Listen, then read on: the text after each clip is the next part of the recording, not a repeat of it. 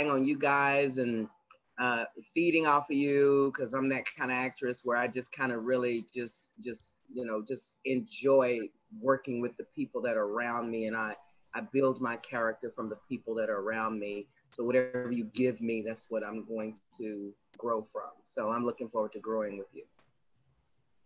All right. Thanks, Rochelle. Mm-hmm. Uh, how about you, Mr. Mark Pouet? Sure. Uh, my name is Mark Pouet. I'm playing the character of Eddie. I wish I'd found out about this on Sunday because I shaved my beard, so I don't look anywhere near 50 now.